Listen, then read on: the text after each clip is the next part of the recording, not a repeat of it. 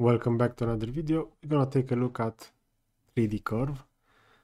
So this is a follow-up for the Shape Sculptor workbench in CATIA V5. Within my previous videos, I discussed everything regarding component selection. Now let's take a look at how we can use 3D Curve.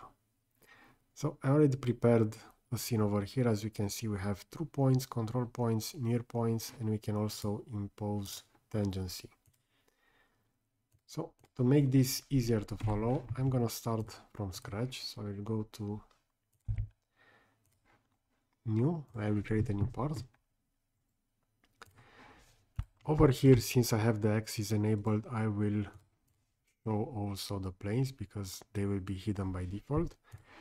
And let me just jump within part design and I will create a simple rectangle over here, which I will extrude in order to use this as a reference for the 3D mesh creation.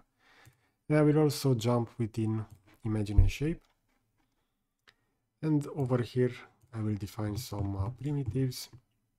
So I will create one model over there, and I will also add a pyramid as well.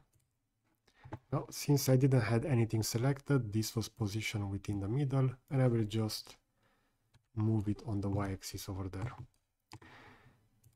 Now, I will jump back to Shape Sculptor. Keep in mind that the 3D curve is available within various workbenches. So this is not the only workbench. This is also available, for example, within Freestyle workbench. We're also going to have the 3D curve over here. And the functionality will be exactly the same no matter the workbench. I will just go back to Shape Sculptor because this is the workbench that um, I will focus within this series. So with the 3D curve enabled, we're going to see that we have three creation types. So we have through points, control points, and near point. For the first one, I will go and use through points.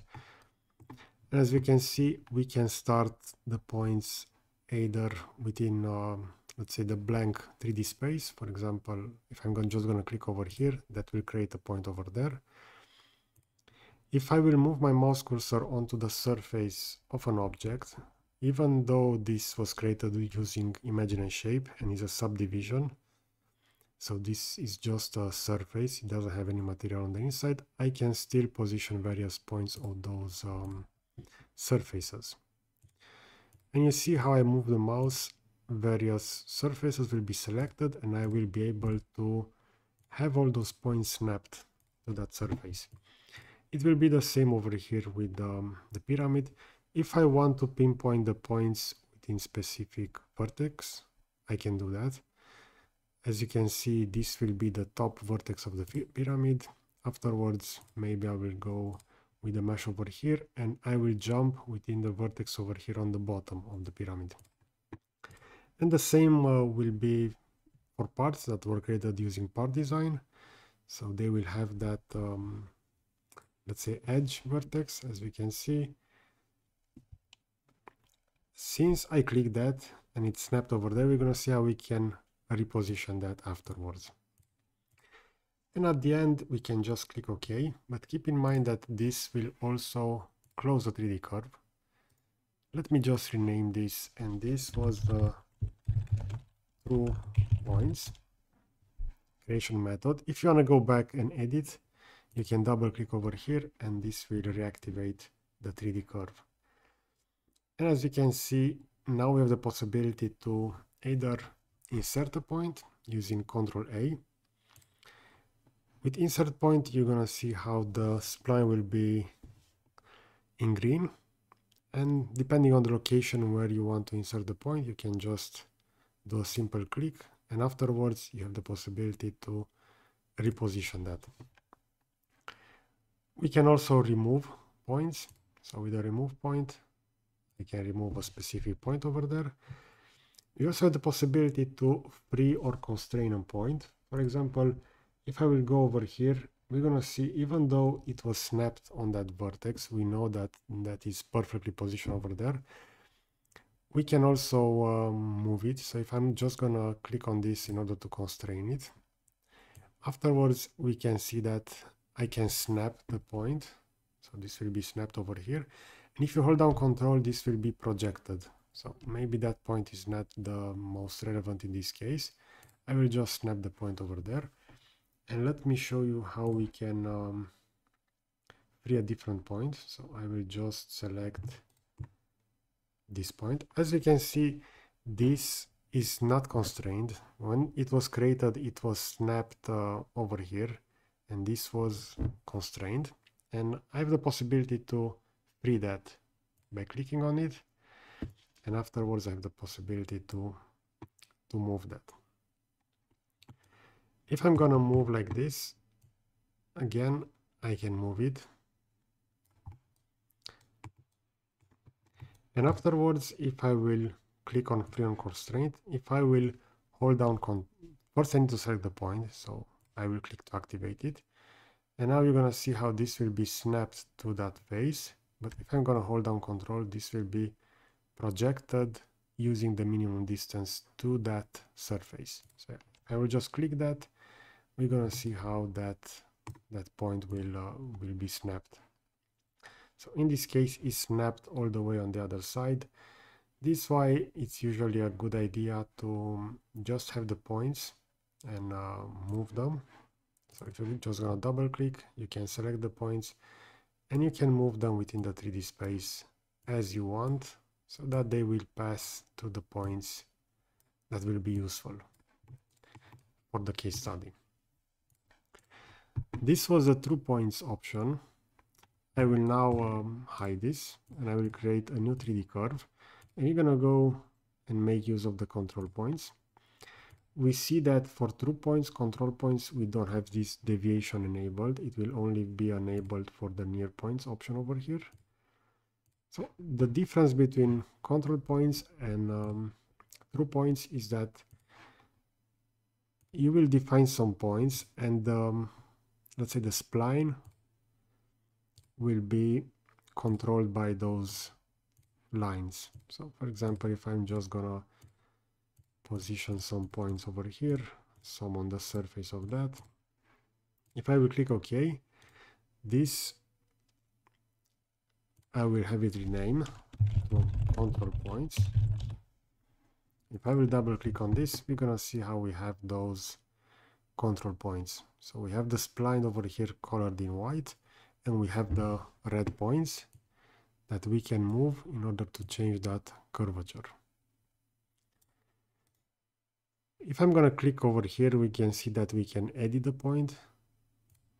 In this case, we're going to have the relative position of that. If I want to go on the z-axis, I can just increase that and that will take the point um, upwards. And we can also increase the, the step over here, but I will just um, close that for now. So the main difference is that within control points you don't exactly position the points um, to that surface. You will position these red lines and afterwards you have the possibility to change those. And the last option will be near points. So for the near points, we can specify, also over here, we're going to have the deviation. And we're also going to have the possibility to do some changes to the segmentation and max order.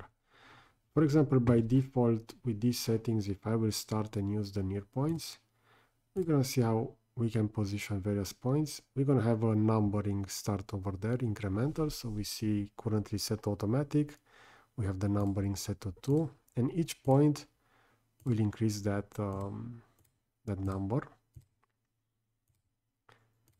So we are currently all the way up to up to six but as you can see I can still position various points. So how how we can uh, let's say change this? We have the possibility to right click on that auto number. So we have this. We can specify the number of segments so over here we currently have one, two, so uh, it's currently set to 17 and we have uh, 14 segments over here. We can also have that change. And as you're gonna see, that will draw a different curve. So even though I position all those points, if this will be set to 4, this will estimate the curve that will uh, go only through 4 points. I will go to 16, we're going to see how that will change. So the functionality for near points in most cases is not that, uh, that needed. The best solution is just go through points where, uh, where you want to position those. That will be the, um, let's say, the, the best solution. And we can also insert a point in tangency. For example, if I will click on that point, we have the possibility over here to, to relocate that point. But if I will re-enable that and go to in, insert a point in tangency, we're gonna see how that point will be added. So even though I'm positioning over here, the point will be position in tangency. We can also impose the tangency by right clicking and go to impose tangency. And over here, we're going to have the possibility to, to change that. So let me just select a different point over here. So I'm just going to click on insert point. I'll position a point somewhere over here. And we have that tangency we can change it on this axis, for example, or we can change it on the other axis.